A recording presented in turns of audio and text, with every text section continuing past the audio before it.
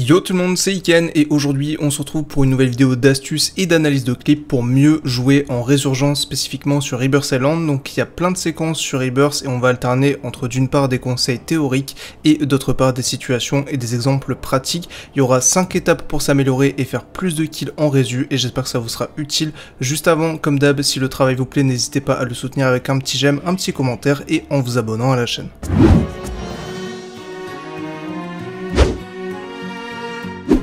Astuce numéro 1, le point le plus important de la vidéo, comment bien jouer son début de game, c'est essentiel en résurgence pour enchaîner les kills et commencer dès le début à faire une grosse game et vous allez voir qu'à chaque spawn on peut prendre énormément de kills. Ce que vous allez vouloir faire d'un point de vue théorique, c'est spawn dans une zone contestée, enfin évidemment plus ou moins selon votre niveau de jeu et faire toujours le même spawn, ça vous permettra d'avoir une meilleure anticipation des situations et en fait d'ancrer les rotations, savoir où est-ce que vous devrez aller selon ce qui va se passer dans la game.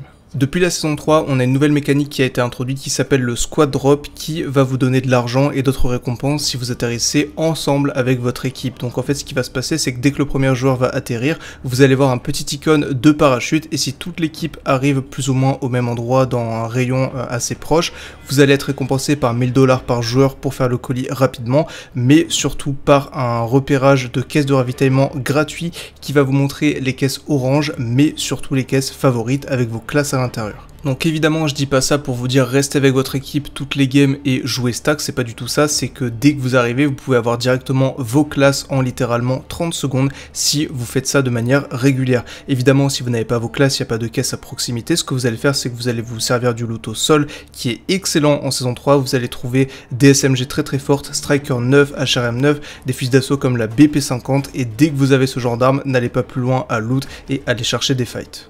Du coup, on va voir ce que ça donne en situation pratique avec deux clips où je fais plein plein de kills au spawn. Alors mon spawn favori personnellement, c'est les douches. Euh, selon euh, l'avion, je vais d'un côté ou de l'autre, mais je préfère ce côté que rentrer par la porte euh, au niveau de, de la prison.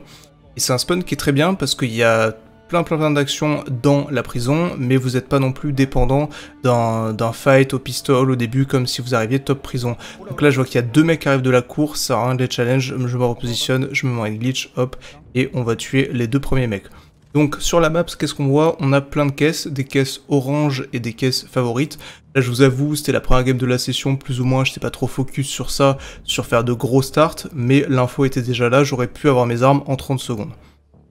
Malgré tout ce que j'ai, c'est une striker légendaire qui est incroyable, c'est littéralement je pense les meilleures armes que vous pouvez avoir au et j'ai 5 plaques, masque durable, etc. Je suis très très bien, j'ai toujours mon self. Donc là, le but, ça va être d'enchaîner les ennemis. On a loot les douches, ensuite on a remonté rez-de-chaussée, on a clair, maintenant on va aller de l'autre côté de la prison. Donc là, vous voyez que mes alliés me suivent, ce sera pas toujours comme ça, c'est juste qu'en fait, il y avait tellement de kills à faire que tout le monde s'est suivi. Et euh, vous devez en fait essayer d'agresser le plus possible parce que, euh, en fait, quand vous êtes en situation de force comme ça avec une très bonne arme, vous allez souvent faire face à des gens d'une part qui ne sont pas forcément préparés à avoir des, duels aussi rapidement, à se faire agresser comme ça, mais aussi d'autre part à des mecs qui auront simplement deux plaques et c'est ce qui va se passer ici. Il y a plein de mecs qui ont respawn sur le top, vous voyez je les craque ultra rapidement c'est déjà le cinquième kill. Donc dès que vous êtes en position de force, il faut euh, jouer avec ça et continuer encore et encore et encore à agresser. On n'est pas en BR où on va essayer de réunir le plus d'argent pour faire le colis, ça ça marche pas. Ici il nous faut une arme qui est juste correcte, qui est suffisante pour prendre des duels et vous allez faire des 1v1. À chaque fois que vous allez confirmer un kill, ça va vous donner le radar de résurgence et vous allez pouvoir encore enchaîner encore et encore. C'est ce que je fais, je rechal parce que j'ai l'info sur le radar, c'est mon huitième kill alors que la zone ne même, n'a même pas commencé à se fermer. Et là, ça va être le dernier kill. Vous voyez, à chaque fois, je continue encore et encore à rush. Chacun est parti de son côté sur la minimap. Et euh, je tue le neuvième kill. Et c'est ça pour le premier start que je vais vous proposer pour cette vidéo. Clip numéro 2, on spawn au même endroit, dans les douches, c'est la même chose. On va avoir la mécanique de squad drop qui va s'afficher. Encore une fois, pas trop focus pour mes débuts de game, mais vous voyez, deux caisses favorites s'affichent. Et il y a plein de caisses oranges toujours ici. C'est aussi pour ça que j'adore vraiment ce spawn, encore plus depuis qu'ils ont instauré ça, c'est qu'il y a toujours une caisse à disposition. Vous regardez mes armes, une caisse BP50 légendaire, l'autre caisse HRM9 avec trois accessoires, c'est littéralement ce qui se fait de mieux quasiment. Et vous voyez que c'est le même schéma, je loot dans les douches, je monte, et ensuite je vois ce qui se passe rez-de-chaussée. Donc la petite interaction bizarre, je voulais m'avancer et C4 parce qu'il y avait plein plein de gens et euh, aussitôt vous dire j'essaie juste de tester le C4 plus qu'autre chose. Donc j'arrive quand même à prendre un kill avec et on va aller tuer le, dernier mec à l'intérieur. maintenant. Voilà, hop, ça craque et ça le finit. Alors c'est une équipe éliminée, c'est un team wipe. Idéalement, si c'est un lobby que vous avez euh, qui a l'air assez bon, il faut essayer délibérément de pas team wipe, mais bon, ça arrive, et euh, vous allez continuer comme ça à slay. Donc j'ai déjà 3 kills, et cette fois en fait, on va pas faire une rotation sur le top prison, mais on va faire une rotation dans la cour parce qu'il y a énormément de monde. Je finis ce kill, je vois quoi? Deux mecs dans la cour plus un qui est au shop, donc c'est ceux que je vais, je vouloir euh, jouer. Lance mon C4, encore une fois pas très concluant, et là, euh, bah là vraiment les armes que j'ai pour fight c'est idéal, j'ai récupéré plein de plaques sur le chemin sans trop faire gaffe, j'ai 9 plaques, je suis là pour un fight, je tue un premier mec, je vais recharger derrière, et là je vais aller confirmer mon kill, je le confirme ici là à droite de la tente, je sors de la smoke, l'allié commence à paniquer, je lui mets des wallbangs, il y a plein de tentes comme ça que vous pouvez wallbang, et ça fait déjà 5 kills. Donc là il me reste deux mecs à gérer, un qui est sur la, sur la muraille, et un qui va se présenter à moi juste ici. Encore une, fois un ennemi qui a deux plaques, donc très très facile à tuer. Et je vais juste aller confirmer le dernier kill.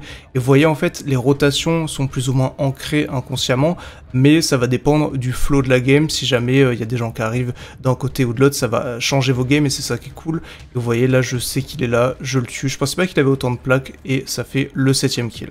Séquence numéro 3, cette fois il n'y avait pas de monde au spawn et ce qu'on va faire c'est qu'on va directement rota. QP et moi on est parti contrôle et Akri et euh, Cabron sont partis ailleurs, donc évidemment pour pas trop se voler les kills. Et là, nous, on va fight une team vraiment de tryhard. Au niveau des armes, je suis plutôt pas mal, j'ai une Striker 9, donc je vais pas faire énormément de kills au spawn, mais je vous mets cette séquence pour vous montrer que si jamais à votre spawn, il n'y a pas de gens, essayez pas de commencer à loot un petit peu, faire votre colis, etc. C'est pas comme ça que ça va marcher. Ce qu'il faut faire, c'est rota où il y a de l'action, et c'est ce qu'on a fait. Là, c'était vraiment des tryhards pour le coup qu'on joue, vous voyez les, pseudos avec des smiley face, etc. partout. Donc ce qu'il faut faire, c'est les jouer en, en 1v1 comme ça quand ils reviennent euh, où ils n'ont pas forcément trop de bonnes armes ou de, plaques, et ça vous permet de les wipe. Hein. Ce que vous voulez faire, c'est wipe les meilleurs teams du lobby le plus rapidement possible, parce que sinon bah, personne va passer une bonne game. Et là, bah, j'ai vraiment de très bonnes armes, j'ai réussi à prendre 3 kills sur contrôle depuis que je suis arrivé, et euh, j'ai juste l'info sur un dernier. Donc là je croyais qu'on pouvait monter sur cette petite lampe, mais au final on peut pas. Et vous allez voir qu'avec le KTMR, je vais prendre un dernier kill ici, hop, je prends le knock, j'ai pas d'autres infos donc je vais m'avancer et confirme le kill. Dernière séquence de début de partie, c'est un petit peu dans le même esprit, c'est que si les kills ne viennent pas à moi en début de game à mon propre spawn, eh bien je vais aller au kill. Donc on a tous rota vers Chemical, et pareil, j'ai une très bonne arme, Striker 9 avec 3 accessoires, c'est amplement suffisant pour prendre des duels, surtout que vous avez un chargeur de 50 balles, et j'ai une BP50 avec. Donc là, il y a beaucoup beaucoup de gens qui euh, revenaient, qui arrêtaient pas de spawn ici, donc on s'est un petit peu régalé voyez, on a un peu stack. Là, j'entends un mec descendre, donc je le quasi crack. Je challenge directement. Slide cancel, slide cancel pour revenir ici. Là, je vois le dernier, j'essaie de prendre, de prendre un dernier challenge, mais le mec descend. Et euh, ça fait déjà 5 kills pour un start, donc c'est vraiment cool. C'est un petit peu plus tard que prévu parce que la zone est en train de se fermer. Et là, je vais voir si je peux pas prendre des kills supplémentaires avant que le colis arrive. Donc là, vous voyez, le, duel, pendant que je le prends, je recule pour éviter de m'exposer à un autre côté et euh, je vais revenir ici finir le kill. Je crois que là je vais vous cut un petit peu la séquence, voilà, un dernier qui s'est parachuté, je le, tue comme ça, ça fait mon septième kill. Et vous voyez, il y a plein de parachutes qui arrivent et le nombre de parachutes qui vous donnent des kills dans ce genre de game, c'est euh, vraiment impressionnant. Vous avez plein de mecs qui vont essayer de réatterrir, d'aller aider leurs alliés, de revenir vers leur stuff, etc. Et c'est que des kills gratuits. Donc checkez tout le temps en l'air dès que possible. Et euh, là, ça va être le dernier kill de la séquence. Je vais remonter sur lui, striker 9, hop, je le mets euh, à terre. Je vais le finir, je crois que je vais aller au silo, j'ai toujours un knock si vous vous souvenez bien, et en tuant la personne qui sera au silo, ce sera un wipe, donc malheureusement parce que vraiment eux ils étaient pas très forts, et ça aurait permis de, me donner encore plus de kills, et ça fait que je suis à 10 kills, le colis vient d'arriver, on vient de, de l'avoir dans la cour, donc c'est parfait, très bon début de partie, on peut récupérer les armes et aller tuer encore plus de gens. Donc justement, j'allais récupérer mon colis et c'est la transition parfaite pour vous parler du deuxième point qui est les atouts et les équipements à absolument jouer en résurgence. Alors ce que vous allez vouloir chercher, ce sont des atouts qui vont accentuer tout ce qui est mouvement et réactivité dans les duels. C'est pour ça que Alpiniste c'est top tier, top tier sur Rebirth Island, Fortune Skip, etc. Et après vous allez jouer soit pas de course, soit passe-passe. Et limite je pense qu'en résu, passe-passe est plus intéressant parce que bah, pas de course ne sera pas forcément utile, on ne fait pas des rotations comme en BR. Là c'est vraiment passe-passe pour enchaîner les fights. Donc ça évidemment vous voyez selon les armes que vous utilisez, mais typiquement des BP50, des HRM9 ça peut être cool d'avoir passe-passe dessus. En troisième atout, régène rapide c'est essentiel et vous allez trouver tôt ou tard des sacoches trempées. Et après soit alerte max, soit agilité en dernier atout. Alerte max moi perso j'essaie de moins jouer avec pour euh, bah, m'améliorer parce que ça donne trop d'infos et euh, aussi en résurgence il y a tellement de parachutes qui arrivent que des fois alerte max peut être trompeur et peut vous donner des infos qui sont pas forcément nécessaires. Agilité ça vous permet d'entendre un petit peu mieux les bruits de pas mais surtout de ne pas mourir de tous les explosifs qui seraient placés sur la map. On termine avec les équipements rapidement. Je pense pas que les stimulants soient la méta en résu, je pense que vraiment fumigène c'est toujours au-dessus mais après vous pouvez jouer soit C4 soit évidemment couteau de lancer pour confirmer les kills. Point numéro 3, aussi super important, s'isoler de ses alliés. C'est la meilleure méthode pour s'améliorer, surtout en résu, où vous allez devoir gérer des situations complexes face à plusieurs ennemis en ne comptant que sur vous. Et franchement, vous allez en ressortir grandi, si je peux me permettre l'expression. Ça permet plein de choses, ça permet de jouer des équipes méthodiquement sans les éliminer totalement, sans les wipe, donc vous pouvez faire plus de kills. Ça permet aussi, euh, bah, évidemment dans le sens inverse, de ne pas se faire wipe parce que vous et vos alliés êtes disperser un petit peu sur la map, donc vous avez plus de chances de réapparaître. Et d'un point de vue général, si vous êtes avec des bons joueurs, tout le monde fait plus de kills, tout le monde gère ses situations, et on va voir ça avec quelques clips. Premier clip, vous voyez, je suis complètement isolé à Headquarters, j'ai mes classes déjà 13 kills, c'était une très bonne game, j'ai fini avec 35 kills ici, j'ai une Striker 9, je, je pense que c'est très important souvent pour vos gestions de fight de toujours temporiser et de bien gérer le premier pour le confirmer et pour ensuite avoir le radar. C'est ce que j'ai fait, jouer assez prudemment. Je tue le deuxième, là j'ai le timing sur le troisième quand il arrive. Je sais via la minimap qu'il arrive avec le set cancel, donc je slide cancel. On se brise plus ou moins tous les deux notre caméra, sauf que euh, vu que je joue clavier souris, je peux me tourner beaucoup plus rapidement que lui et je le tue juste après. Et vous voyez que ça fait déjà 16 kills, j'ai pas tué le quatrième, donc là je vais pas chercher à aller push le mec dans la prison, parce que si je fais ça, je vais tuer toute son équipe et c'est pas ce que je veux. Ce que je veux, c'est enchaîner, attendre qu'ils reviennent et les tuer à nouveau un par un.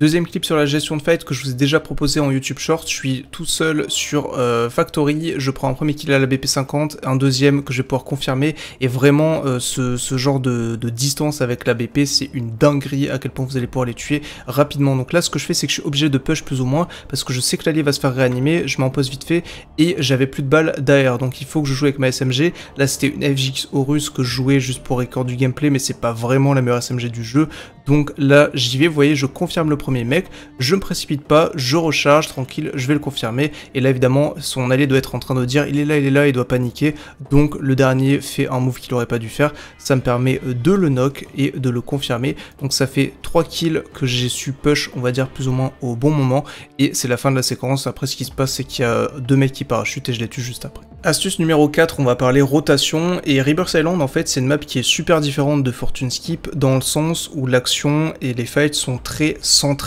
dans les différents points d'intérêt. C'est-à-dire qu'il va y avoir vraiment beaucoup de fights prison, beaucoup de fights contrôle, et en fait sur les routes de rotation, il n'y aura pas grand-chose, et donc vous voulez absolument pas vous retrouver à pied entre les zones. C'est pour ça qu'il faut utiliser en permanence à votre avantage les parachutes, les hauteurs, les ballons et évidemment les tyroliennes. En fait, la topographie de Rebirth Island est faite pour qu'il y ait des rotations rapides si vous êtes sur un point de hauteur. Et pourquoi est-ce que je spawn tout le temps dans les douches de prison? Eh bien parce que si je n'ai pas en fait de fight au début de game, que ce n'est pas contesté, je peux très rapidement monter en 10 secondes via une tiro, un escalier sur le toit, check où c'est qu'il y a de l'action et me parachuter soit sur Control, soit sur Headquarters, soit éventuellement sur, euh, sur Chemical. Et vous voulez pas vous retrouver dans des spawns où vous êtes excentré à Bioweapon ou vous êtes excentré au niveau des tentes de Stronghold c'est aussi pour ça que j'aime pas trop Spawn Control, parce que oui, il peut y avoir beaucoup de fights au début, mais après les rotations sont pas incroyables. Donc franchement, choisissez des, des spawns clés et n'oubliez pas de vous parachuter pour couvrir le plus de distance possible.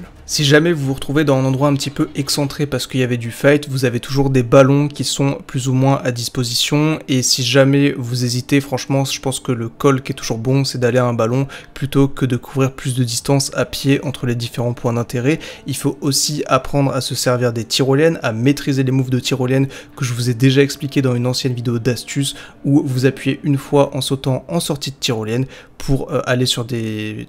pour skip complètement l'animation et pour sauter au-dessus de la tyrolienne et surprendre vos ennemis. Il y a quelques jump spots qui sont importants à connaître, euh, notamment sur la partie nord de la map qui peuvent être assez cool à faire. Mais en gros, tout ça pour vous dire que les rotations sont super importantes. Perdez pas votre temps à courir entre les différents points d'intérêt.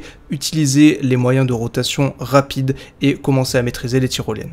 Enfin, on va terminer avec la cinquième et dernière astuce qui est tout ce qui va toucher au mouvement et votre positionnement dans les fights. Et ce que je voulais vous dire, c'est que en vous isolant, vous allez apprendre sur le tas automatiquement à gérer vos mouvements et votre positionnement. Et pour ça, j'ai deux séquences à vous montrer pour illustrer ça de manière pratique. Premier clip, ça remonte à quand le Renetti était méta et c'est une situation de fuite. Donc vous allez voir, je regarde, je suis à Arbor, il y avait plein plein de teams. Là, je peux pas prendre le duel avec le Renetti, c'est trop loin. Et je sais que mon allié se fait tuer en bas. Donc j'y vais, hop, je prends le premier kill. Là, il faut que je recharge. Et en fait, je, peux pas prendre le duel face à l'ennemi qui est à côté de moi parce que je dois recharger. Donc idéalement, hop, je, je réfléchis ultra vite, j'ai ok, il faut que je me barre. Donc bon mouvement pour passer à travers la fenêtre. Là, il y avait un petit peu de fumée, donc ça m'aide à m'échapper. Et je vais profiter du timing pour me plaquer. Les timings de c'est super important parce qu'il faut vous assurer que vous ne pouvez pas subir de dégâts dans les, dans les moments où vous allez vous plaquer. Là, ce que je voulais faire, c'était re-rentrer à droite, je fais complètement mon mouvement, donc je réfléchis, ok, ça sert à rien, soit je descends à gauche, mais je vais avoir une animation, soit je continue par là où je suis arrivé. C'est ce que je vais faire, et du coup, là, je vais vous montrer cette fenêtre. Pourquoi? Parce qu'en fait, quand vous êtes dans une situation qui est euh, compliquée comme ça, pensez pas à je vais passer là, là, là, là, là, ça marche jamais comme ça. C'est des décisions sur le fil. Et sur le fil, vous devez penser à une seule chose, c'est ok, par où est-ce que je peux m'escape? Quelle est la trajectoire la plus courte pour m'enfuir et me mettre à couvert? C'est ce que je vais faire, je vois cette fenêtre, là ça sert à rien que je re rentre dans le bas parce que j'ai pas l'info sur le nombre de joueurs qui y sont encore, donc je dis ok je vais jouer autour de cette fenêtre, le mec rentre évidemment, je ressors juste derrière lui, hop chemin d'escape le plus court c'est quoi? C'est cette fenêtre, je re rentre et après là malheureusement je vais mourir parce que bah il y a des situations où vous pouvez tout simplement pas gagner, et c'était pour vous montrer comment essayer plus ou moins de, gérer plusieurs ennemis, et en fait de vous glisser entre les timings où les ennemis vont avoir une ligne de vue sur vous. La deuxième séquence, c'est du positionnement et comment en fait isoler méthodiquement des 1v1 d'une même team. Il y a un mec qui se parachute, je viens de récupérer mes classes, je le craque, je le confirme, et euh, en fait il me manque un petit peu de stuff, j'ai plus trop de balles, plus trop de plaques. Je me fais tirer dessus par derrière, hop, réflexe instant, fumigène, c'est pour ça que je préfère largement les fumis aux stimulants. Là, j'ai plus de plaques, donc j'attends un peu, je vais vous cut la séquence. Et quand je reviens, je me dis, oh putain, mais lui, il a du stuff, donc je vais utiliser ma deuxième fumée et je vais récup son stuff. Il faut pas rester passif sans plaques comme ça, sinon je pourrais même pas jouer au jeu. Donc là, je récup son stuff et je vais voir ce qui se passe. Il y a un mec qui rentre, je le tue au Renetti parce que l'arme était complètement broken. Je décide de pas récup son stuff, c'était 50-50 parce que j'avais pas forcément d'infos. Et fort heureusement, il y a du stuff en bas. Je ferme la porte et vous allez voir ce que je vais faire hop, gros coup dans la porte, et en fait, je savais pas exactement où était l'autre ennemi. Et vu qu'il va paniquer avec la porte, ça me donne l'info, il va tirer des coups aux pompes, donc je fais quoi? Slide cancel, je le détruis au Renetti, et je prends le deuxième kill. Ça fait un kill sur le parachute, un kill sur le mec qui était au-dessus, un kill sur le mec dans la pièce. Donc tranquillement, méthodiquement, je vais revenir. Là, le but c'était de monter à l'étage, voir s'il y avait un dernier, mais au final, il y a un, un des alliés qui a déjà un respawn, il va se parachuter. J'attends un petit peu, voir ce qui se passe, et euh, je vais me dire, ok, je vais, vais pas revenir en fait par la porte principale, je vais faire le jump spot, je vais monter sur le toit, et je le mec qui est au-dessus. Voilà, je le fais, hop, je le confirme, et je sais qu'il y a encore un mec en dessous, mais c'est la fin du clip. En gros, je partais d'une situation qui était pas forcément à mon avantage, avec les fumis et le fait d'isoler les fights, j'ai euh, quand même pris 4 kills sur cette séquence. Donc voilà, avec ça on a fait le tour des astuces pour vous améliorer en résurgence, une vidéo qui était plutôt longue mais j'avais beaucoup de choses à aborder et je trouve que c'est intéressant à chaque fois d'illustrer ça avec des séquences pratiques que j'ai pu récupérer au fur et à mesure des semaines depuis que Rebirth est sorti. Les deux points les plus importants évidemment c'est comment gérer votre début de partie, faire vos rotations et ensuite vous isoler et c'est comme ça que vous allez apprendre à mieux gérer les situations compliquées où vous devez fuir ou vous devez vous repositionner. J'espère que cette vidéo aura pu vous aider, n'hésitez pas à me le dire en commentaire, à passer sur les streams si jamais vous on fait souvent du Rebirth Island. Et moi c'était Iken et je vous retrouve dans une prochaine vidéo.